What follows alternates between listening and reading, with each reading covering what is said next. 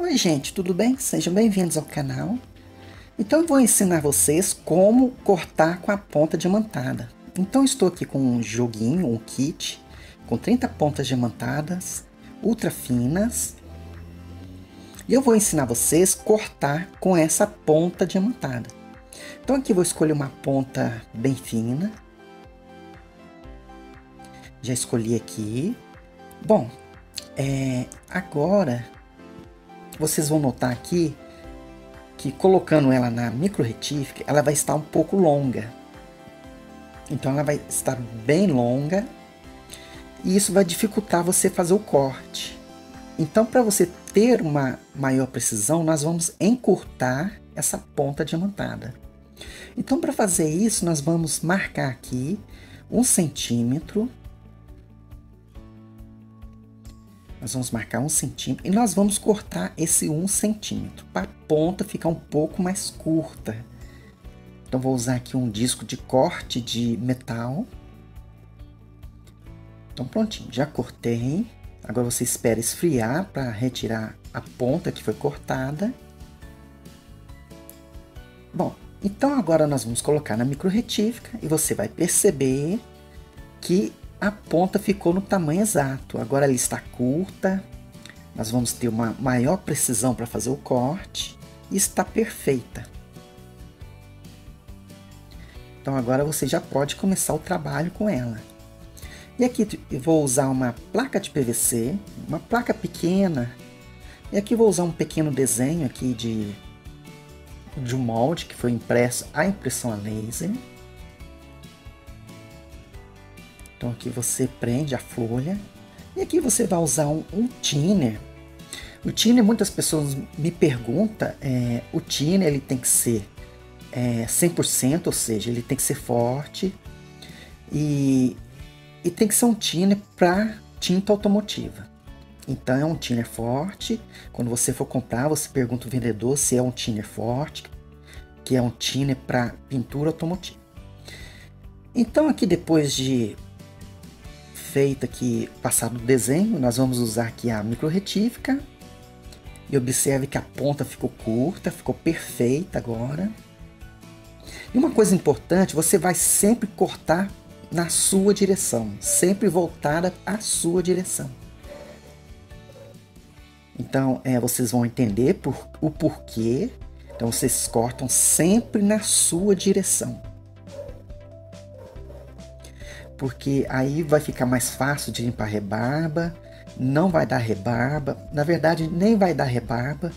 A rebarba que der você pode retirar até com os dedos, até com a mão você pode retirar. Então você vai cortar sempre na sua direção, nunca na direção oposta. Então você vai rodando aqui a chapa para cortar sempre na sua direção. Ou seja, sempre cortando, puxando na sua direção, para você. Então observe que eu estou sempre cortando na minha direção.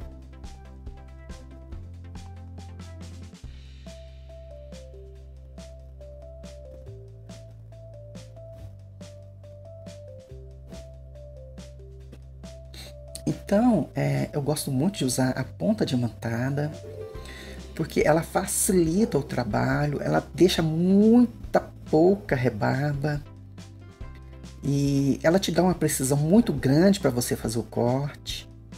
E apesar também que você encontra ela bem fácil no mercado, eu, em algumas lojas, principalmente esse kit com 30 pontas. Então observe que sempre eu corto do meu lado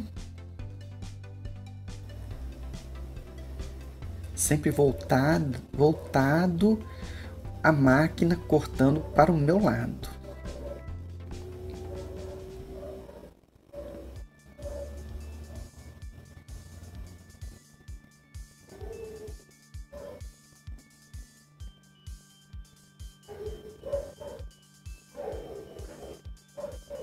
E outra coisa também, nesse mês de dezembro vai ter Nesse mês de dezembro nós vamos ter muitos trabalhos legais, muitas novidades, muitas criações novas.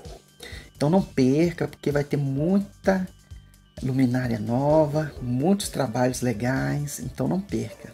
Fique sempre ligado aqui no, no nosso canal. Então aqui você vai cortando, você vai cortando é, sempre na sua direção.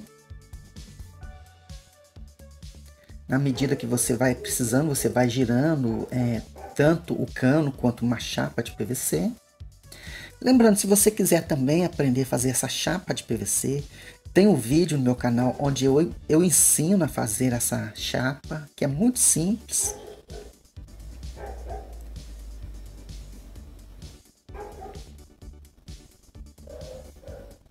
Então observa que já estou terminando de fazer os cortes por dentro.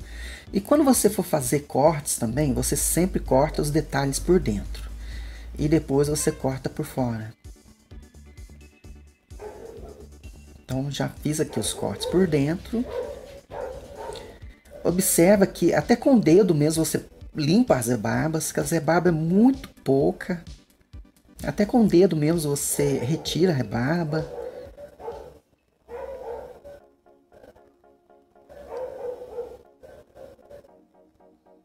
Aqui eu estou é, fazendo esse vídeo sem cortes para mostrar para vocês que é bem fácil fazer esse trabalho com a ponta diamantada. Eu estou fazendo aqui sem é, acelerar o vídeo, na medida exata para vocês terem uma noção de como é que eu faço os trabalhos aqui cortando com a ponta diamantada.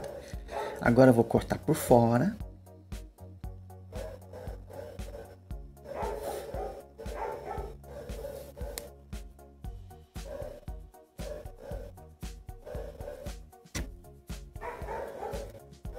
Então você vai cortando por fora, lembrando que você corta sempre na sua direção, nunca na direção oposta. Que você cortando na sua direção, a rebarba vai ficar por fora e o seu trabalho vai ficar sem rebarba.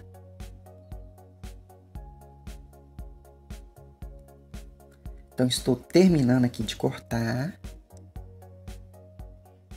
Então prontinho, já cortei. Cortei aqui em tempo real para vocês verem como que é. Então aqui até com o dedo ou com a mão você consegue retirar a rebarba tranquilamente. E praticamente nem tem rebarba. Então essa rebarba você tira ela com extrema facilidade, até com os dedos você limpa.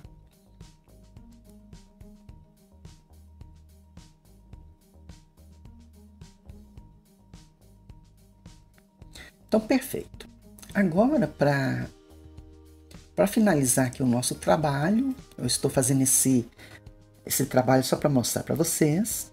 Então agora, para finalizar, nós vamos lixar, para deixar ela limpinha e tirar aquela marca da, da impressão que nós passamos para a chapa.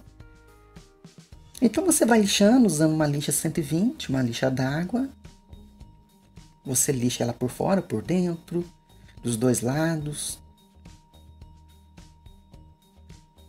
Nem precisa lixar muito, você vai lixando à medida que vai é, sumindo aquela marcação da impressão que nós passamos para a chapa.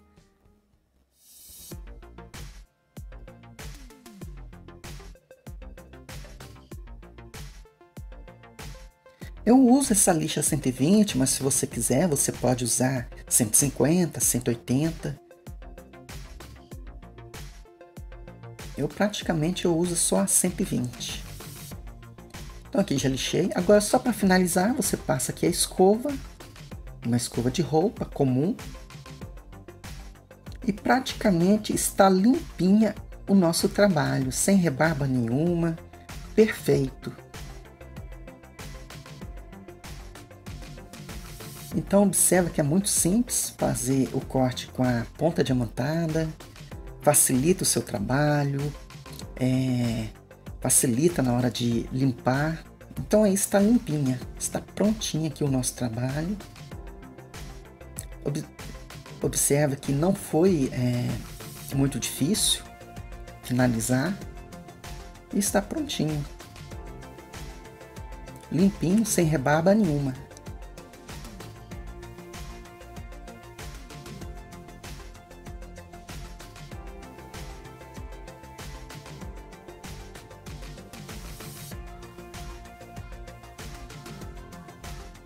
Então, é, está prontinho o nosso trabalho. Espero que vocês tenham gostado, que tenha aprendido aí com cortar com a ponta de mantada. Então, esse foi o vídeo, espero que tenha gostado e até o próximo vídeo.